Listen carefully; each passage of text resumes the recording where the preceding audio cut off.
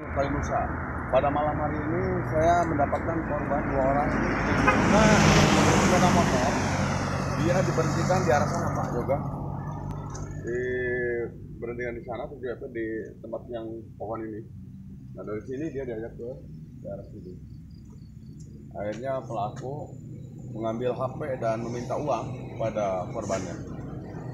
Sekarang pelaku sudah kami amankan di pos Malangun. Demikian yang bisa saya sampaikan. Salam dan Nusa.